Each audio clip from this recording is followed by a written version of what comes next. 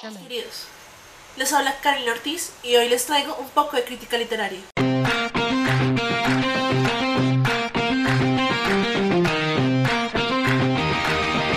Hoy voy a hablarles de Sor Juana Inés de la Cruz, una gran poeta mexicana, yo creo que muchos la conocen. Y los que no, pues sería una maravilla presentarles a esta gran mujer. Ella es muy importante en la historia literaria, no solo de Latinoamérica, sino yo diría del mundo. Pero específicamente hoy les voy a hablar de los villancicos que se cantaron en la Santa Iglesia Metropolitana de México en honor a la Santísima Madre de Dios en su Asunción Triunfante. En este video quiero hablarles de cómo Sor Juana fue disruptora e hizo crítica a su sociedad, incluso en un discurso de carácter popular como lo son los villancicos. Los villancicos, como todos sabemos, son básicamente una producción que trata algún acontecimiento de carácter religioso. Pero lo interesante de los que fueron compuestos por Sor Juana Inés de la Cruz es que estos tienen un tono barroco y su forma poética y la musicalización también son muy interesantes en este sentido.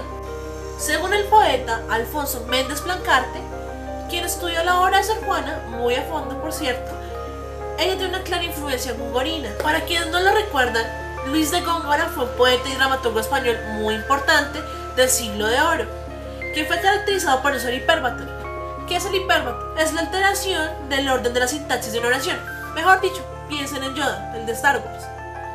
En fin, en otras características de Gongorinas también está la métrica meticulosa y las referencias mitológicas. Por otro lado, al igual que los villancicos de Góngora, los de Sor Juana tienen una clara tendencia multilingüe.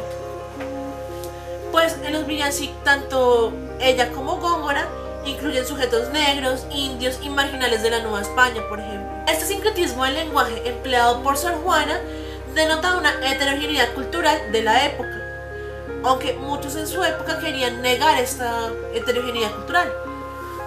Pues había claramente un racismo y una discriminación a ciertos sujetos de la sociedad. Este fenómeno se puede en las caracterizaciones fonéticas que desarrollan los diferentes grupos demográficos, como se puede ver en estos fragmentos, que claramente es una adaptación al lenguaje coloquial de los negros en un poema.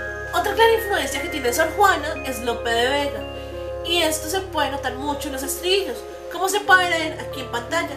Y pese a ser textos que están flotando entre la oralidad y la textualidad, esos villancicos son incluidos en el canon, así tengan un lenguaje coloquial y elementos que podrían ser considerados como coloquiales, pero también a su vez tienen el lenguaje muy avanzado y muy complejo, como la inclusión del latín y referencias mitológicas griegas y romanas dentro de los mismos villancicos. Otra cosa muy interesante es que esos villancicos también pueden ser considerados como una crítica a la sociedad de Nueva España, porque están satirizando la condición de esclavitud de las personas negras.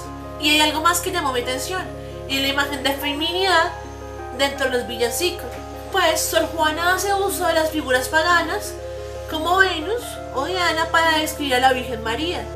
Entonces es bastante curioso que Sor Juana haga la genealogía de la Madre de Dios basada en la cultura greco-latina y no en la cultura bíblica. Esto es claramente disruptor teniendo en cuenta que el principal propósito de los villancicos es evangelizar. Les tengo una pregunta. ¿Ustedes cantarían los villancicos de Sor Juana en este diciembre?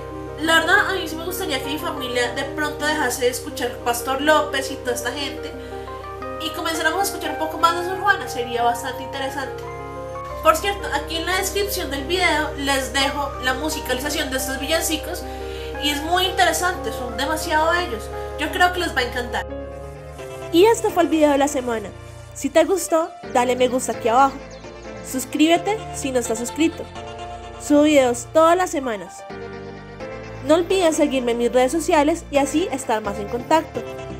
Voy a estar súper pendiente de todos sus comentarios. Un abrazo y hasta pronto.